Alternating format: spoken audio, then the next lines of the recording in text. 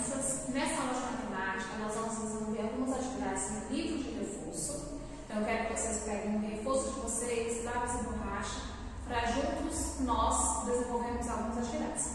É, a partir da página número 108, nós vamos fazer na aula de hoje, ok? Então, vamos lá? Juntos na página 108, vou fazer a leitura e vou desenvolver as atividades com vocês. Então, a gente vai fazendo, vai explicando vocês estão fazendo junto comigo, tá? Na questão de número 1, tá? Nós temos assim, ó, pinte as figuras de acordo com a fração correspondente. Nós temos, ó, vou contar com vocês, né? Nós temos três barrinhas. Nessa barrinha tá pintado, ó, tá dividida em oito partes. Cada uma dessas barrinhas estão divididas em oito partes, tá? Cada barrinha, ó, nós temos três barrinhas que tá dividido no total de oito pedacinhos. Aí tá pedindo para que vocês pintem cada uma delas de acordo com a fração. A primeira barrinha tá a fração 2 oitavos, né? Então, se é 2 oitavos, vocês vão pintar quantos pedacinhos? Dois pedacinhos. Pintaram? Pegam o lápis de cor, da cor que você quiser, e vai pintar dois pedacinhos. Na segunda barrinha também está dividido. Lógico que no livro de vocês é, tá mais bonitinho, tá, tá o desenho em tamanho igual, tá? Aí no segundo desenho está pedindo para que vocês é, pintem para que represente a fração 7 oitavos. Então significa que vocês vão pintar quantos pedacinhos? 7 pedacinhos. Então, ó, 1, 2, 3, 4, 5, 6, 7. Você vai pintar o pedacinho todo, tá? Você só está passando a, a, o risquinho, porque não tem como eu pintar com o meu pincel. Na terceira fração, também dividida em oito pedacinhos, né? Aí tá pedindo para que vocês pintem a fração que representem, que represente, né? Cinco oitavos. Então significa que quantos pedacinhos você vai ter que pintar? Cinco pedacinhos. Então, ó, um, dois, três, quatro, cinco. Então, na primeira você pintou dois pedaços, na segunda você pintou sete e na terceira você pintou cinco pedacinhos. Pintaram junto comigo? Vamos agora para outra parte. Agora, compare as frações de acordo com as figuras usando o símbolo de. Lembra que nós temos esse símbolo e esse símbolo. Se lembra o número 7, eu vou ter o símbolo de quê? Maior. Quando eu passo para cima assim, ó, ele vai lembrar o número 4. Então, ele vai ser o símbolo de menor. Então, vamos lá. Na fração, nós temos ó, 2 sétimos e a fração 5 oitavos. Ó, 5, 2 sétimos não, né? 2 oitavos, desculpa. 2 sétimos, 2 oitavos. Qual vai ser a maior fração entre elas? Quando a gente tem denominador igual, a maior fração é aquela que tem menor, ou menor não, maior numerador. Então, essa fração é maior. Então, eu vou ter que usar o símbolo de quê? De menor. Porque eu vou dizer que 2 oitavos é menor que 5 oitavos. Depois eu tenho 7 oitavos e a fração 2 oitavos. Qual é a maior fração? 7 oitavos. Então, eu vou colocar o símbolo de quê? Deixa eu colocar o símbolo errado, né? Menor, desculpa. E aqui a gente vai colocar o símbolo de quê? De maior. Depois, na sequência, vem, ó, 5 oitavos e a fração 2 oitavos. Já vou colocar a outra aqui embaixo, ó. 5 oitavos e depois vem a fração 7 oitavos. Qual é a maior fração? Nós já vimos que a maior fração é 5 oitavos. Então, deixa eu botar aqui, ó, 5 oitavos é maior que 2 oitavos. E nós sabemos que a fração 7 oitavos é maior que 5 oitavos. Então, nós vamos colocar aqui, ó, o símbolo, ó, 5 oitavos é menor que 7 oitavos. Então, na primeira, colocou o símbolo de menor. Na segunda, logo abaixo, você colocou o símbolo de maior, maior e menor. Ok? Vamos agora para isso aqui? Nós vamos agora para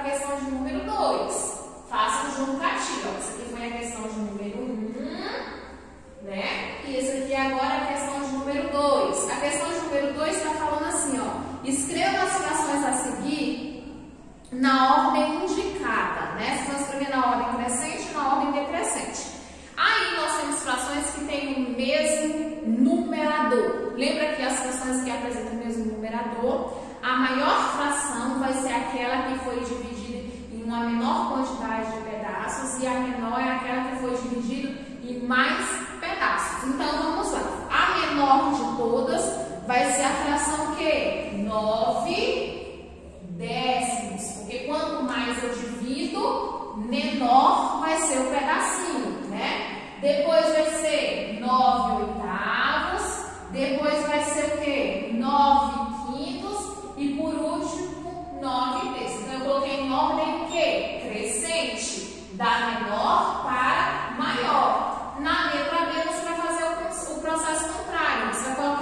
em ordem decrescente, então é da maior para menor. Então, você só vai inverter, ó, 9 terços, 9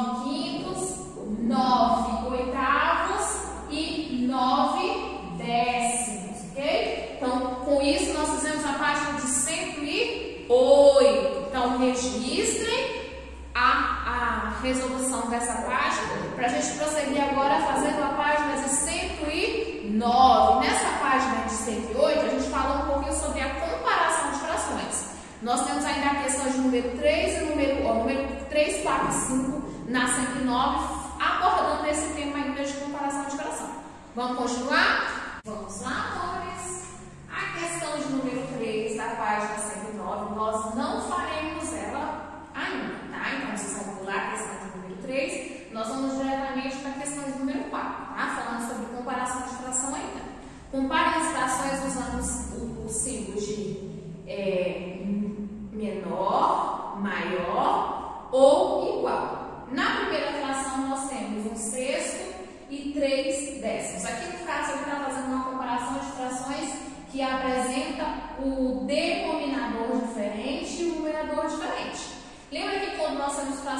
se assim, o numerador e denominador diferente, nós vamos ter que fazer o quê? Deixa eu colocar bem aqui do lado. Ó,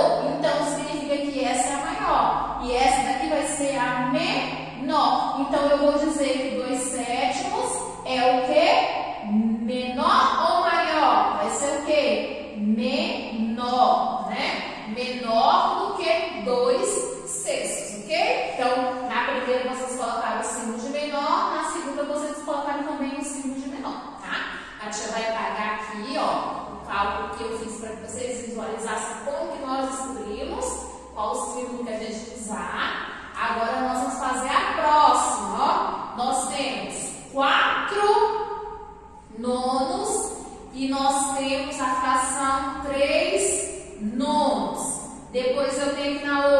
oito quartos e na outra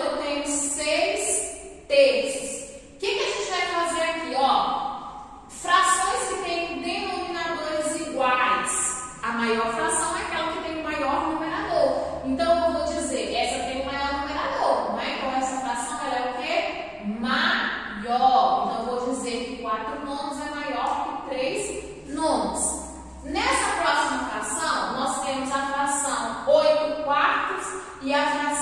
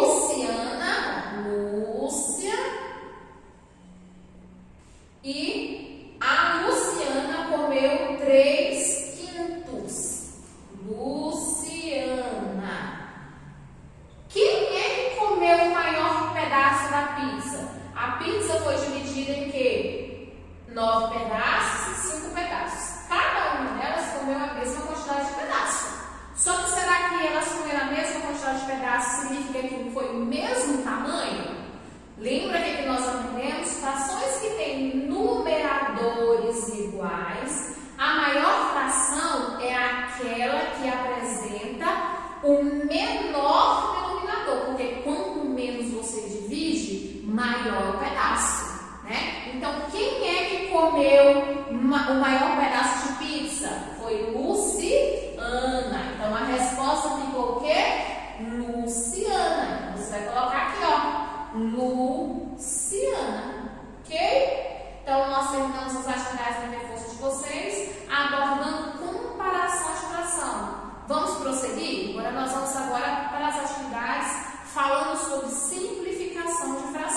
Então, ó, dá uma olhadinha no quadro, visualizem, né? Vê se vocês colocaram o gabarito correto, né? E vamos para as próximas questões. Vamos lá? Então, a tia vai apagar aqui. Vou tentar é, focar no centro do quadro para não cortar as atividades e vocês possam visualizar da melhor forma, tá?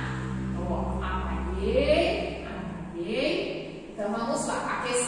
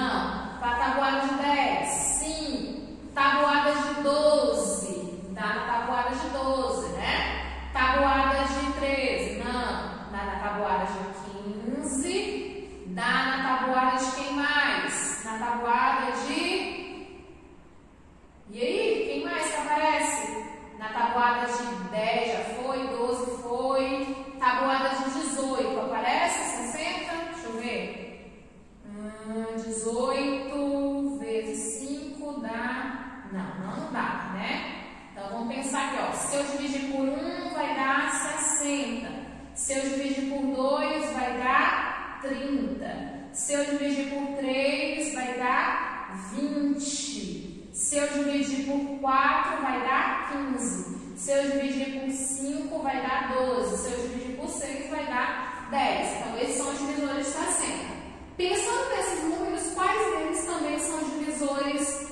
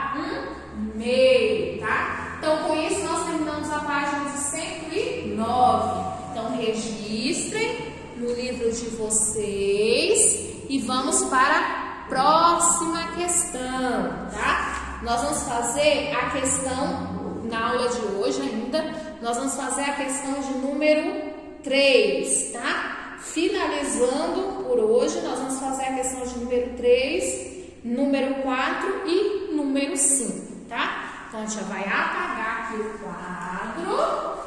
Nós vamos fazer a questão de número 3 agora, ó. Então, vocês registraram. Se precisar, volta no vídeo, tá? Então, a questão de número 3, na página de número 3. 110, tá? É, tá pedindo para vocês simplificarem a fração 24 32 avos. Deixa eu ver se a gente fez anteriormente. Não, né? Então, através do processo do MDC. Então, a gente vai achar o conjunto de divisores de 24, o conjunto de divisores de 32 e a gente vai achar o maior divisor comum. Então, ó, divisor de 24 vai ser 1, vai ser o número 2, número 3.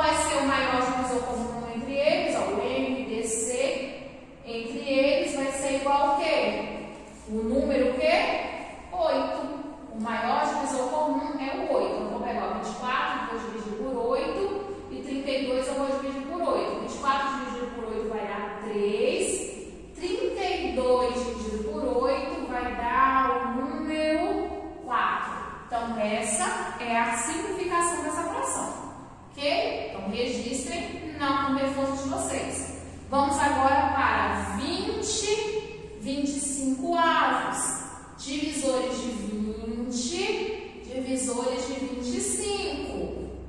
Ó, divisores de 20, zero, zero não, né? Ó, já cortamos zero.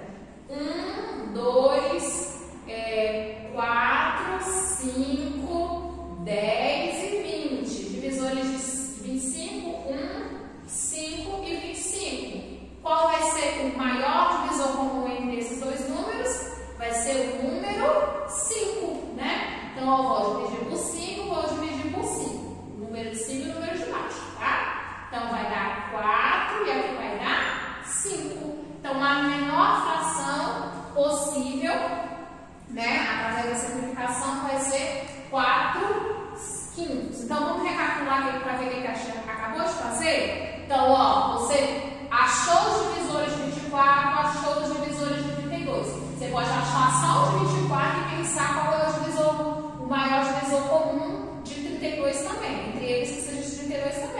Depois você simplifica. A mesma coisa você fez aqui, ó. Acho divisor de 20, acho divisor de 25. Observa qual é o maior entre eles e divide o numerador e o denominador. Ok? Então, registrem essa questão para a gente pegar e fazer a próxima questão. Ó, já vai sair da frente para que vocês possam visualizar da melhor forma, tá? Então, vou para a próxima. Vou apagar.